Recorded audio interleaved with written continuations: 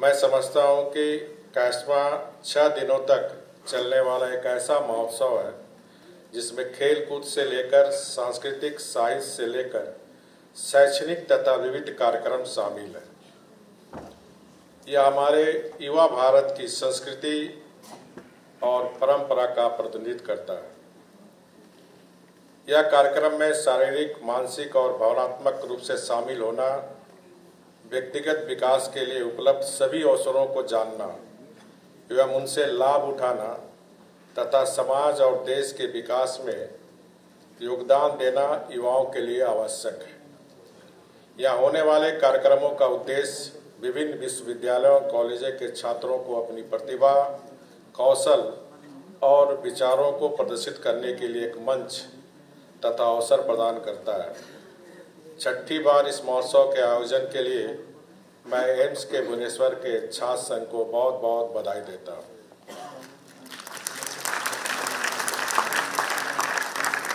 सर्वे भवंतु सुखिना सर्वे संतु निरामय। हमारी सदियों पुराने संकल्प को इसी शताब्दी में पूरा करना है। गरीब से गरीब को इलाज मिले स्वास्थ्य की बेहतर सुविधा मिले।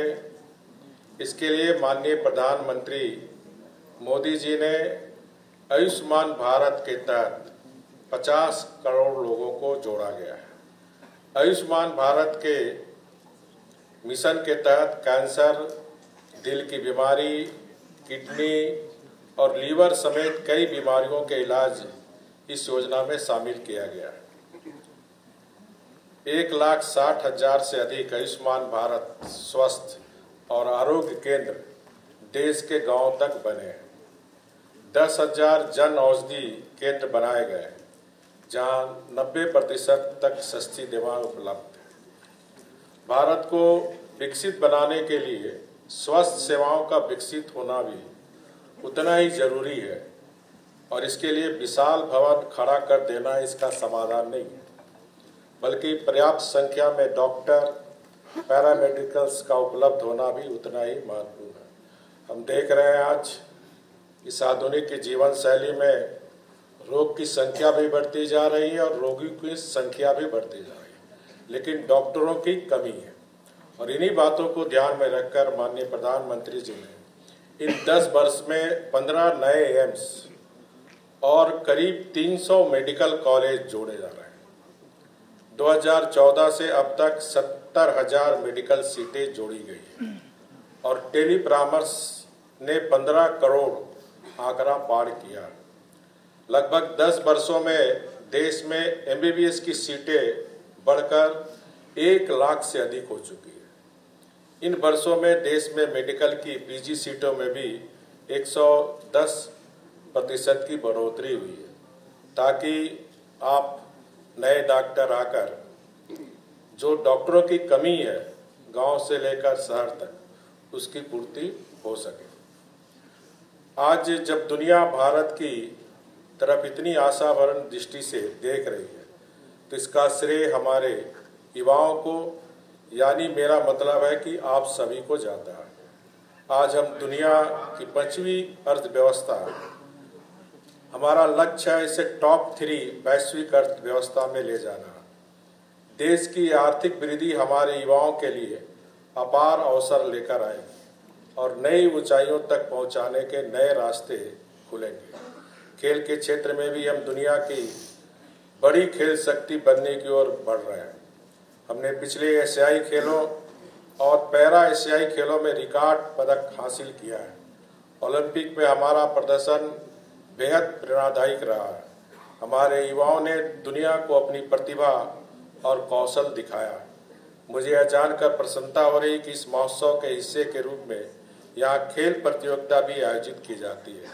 इससे न केवल खेलों को बढ़ावा मिलेगा, बल्कि हमारे युवाओं को खेल प्रतिभा दिखाने का अवसर भी मिलेगा। आज वैश्विक आवाज़ें उठ रही है यह सदी भारत की सदी यह भारत के युवाओं की सदी होगी भविष्य के कौशल के साथ नई पीढ़ी को तैयार करने के लिए एक व्यवहारिक और भविष्यवादी शिक्षा प्रणाली का निर्माण करना नई राष्ट्रीय शिक्षा नीति का उद्देश्य है।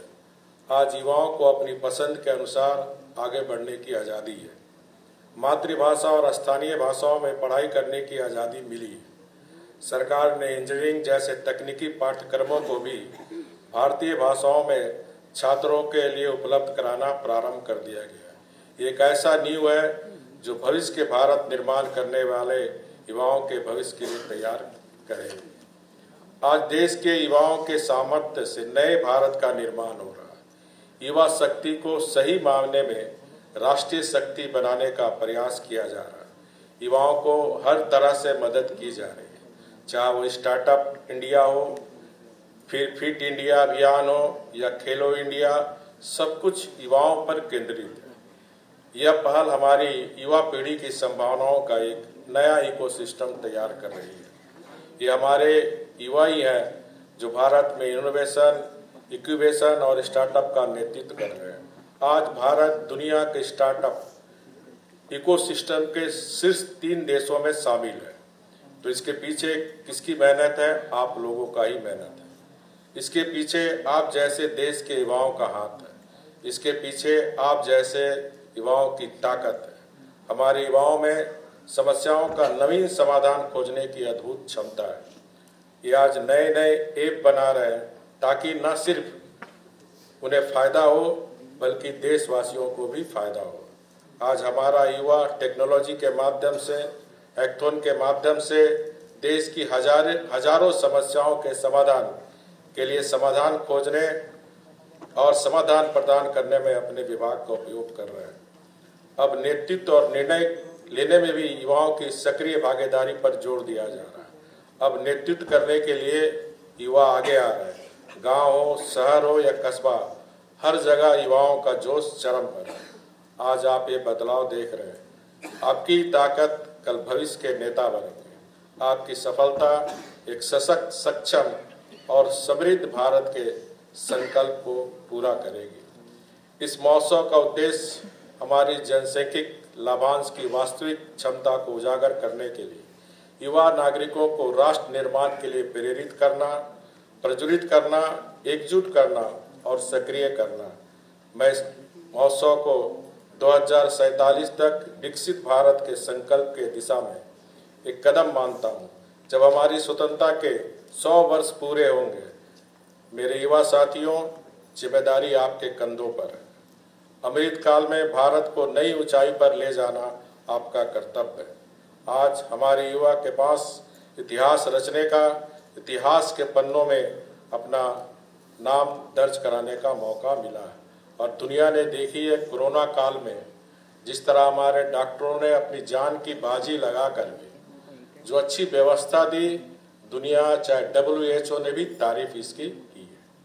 तो डॉक्टर की पेशा को हम भगवान के रूप में मानते हैं। तो जैसा अभी आपके एडवाइजर ने कहा कि हर डॉक्टर को संवेदनशील होना बहुत ज़रूरी और एक कोरोना काल में हमारे भारत के डॉक्टरों ने दिखाने का काम किया। तुम तमाम डॉक्टरों को मेरी ओर से बहुत बहुत बधाई और निश्चित रूप से कोरोना काल से जो हमें सीख मिली है तो हमारे जो विद्यार्थी बैठे हुए हैं, ज़रूर उन सीख लेंगे, क्योंकि बीमारियाँ बोल के नहीं आती है। बीमारी कभी भी आ सकती है। तो हमें सचेत रहना, हमारे व्यवहार या फिर जो भी हमारी जो रिक्वायरमेंट है, उसके अनुसार हम लोगों की सेवा करें। मुझे पूरा विश्वास है कि आप सभी हमारे देश का हर युवक, हर ज़िम्मेदारी को निष्ठापूर्ण सामर्थ्यपूर्ण निभाएँगे। मेरी ये भी कामना है कि भुवनेश्वर का एम्स, देश में पहला एम्स ऐसा बने, ये गौरव प्राप्त करें और इसमें जो भी सहयोग आप चाहेंगे, भारत सरकार से इसकी पहल मैं करूँगा, ये आपको मैं विश्वास दिलाना चाहता हूँ। इन शब्दों के साथ मैं एक बार फिर इस महोत्सव का आयोजन के लिए अपनी खुशी और गहरी सराहना व्यक्त करता हूँ। मुझे यकीन है कि यह छात्रों के बीच एकता और सौहार्द लाएगा। उनके जीवन को समृद्ध बनाएगा। यादों की ऐसी छाप छोड़ेगी जो जीवन भर याद रहेगी। आशा करता हूँ कि प्रतिभागियों को यहाँ बहुत अच्छा समय मिलेगा। मैं उत्सव की शानदार सफलता की कामना करता हूँ। बंदे उत्कल जननी। जय हिंद। जदि आपंक आम भिडी भल लगा तेब आम चेल्क को लाइक सेयार और सब्सक्राइब करने को जमा भी बुलां नहीं